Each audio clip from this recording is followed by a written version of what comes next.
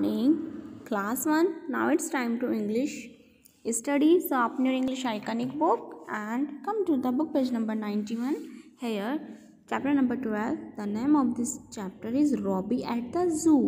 Robbie ने zoo जू होता है चिड़ियाघर रॉबी चिड़ियाघर में गया हुआ है यानी कि रॉबी जो है वो चिड़ियाघर की विज़िट कर रहा है उसने वहाँ पर क्या क्या किया हम इस चैप्टर में पढ़ेंगे। Reading of this chapter now let's start Robbie goes to the zoo with his mother Robbie अपनी मम्मी के साथ जू गया, चिड़ियाघर गया। It has a red gate इसका गेट का कलर कैसा है? Red he sees many animals at the zoo इसने बहुत सारे एनिमल्स देखे जू के अंदर। That is a big animal यह ये कौन है? वह सबसे बड़ा एनिमल है जू में। It has a very long nose इसकी बहुत लंबी नोज़ है। इट इज़ ग्रीन कलर ये ग्रे कलर का है। इस किसको कह रहे हैं एलिफेंट को बता रहे हैं। Now come to the page number ninety two here that is a big yellow animal it roars. It is the eating meat ये येलो कलर का है एनिमल है बिग है, बड़ा है. इट रोज ये दहाड़ता भी है. इट इज़ ईटिंग मीट और क्या खाता है? ये मीट खाता है.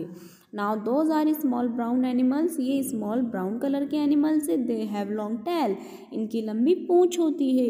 ये मंकी को बता रहे हैं.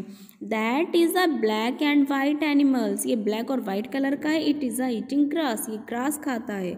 ये ग्रास खाता है. नाउ हेयर ये डोंकी को बता रहे हैं. Now here that tall animal has spots इसके बॉडी पर स्पॉट्स हैं. It has a very long neck और इसकी नेक कैसी है? गर्दन। नेक होती है गर्दन, इसकी गर्दन लंबी है। ये जिराफ को बता रहे हैं। Now, there is a furry animal, it has a black fur. Black fur है इसके, ये फरी फर वाला एनिमल है, ये बियर को बता रहे हैं।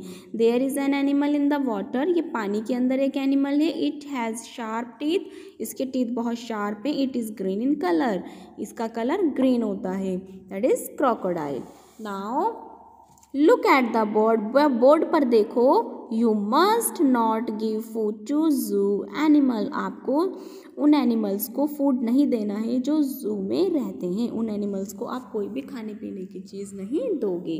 Don't feed the animals can I feed them पूछा इसने रॉबिन अपनी मदर से कैन आई फ़ीड दैम तो बोर्ड पे क्या लिखा हुआ है? साइन बोर्ड पे लिखा हुआ है do not feed the don't feed the animals. Animals को कोई भी आप अपने लाया हुआ खाना नहीं देना।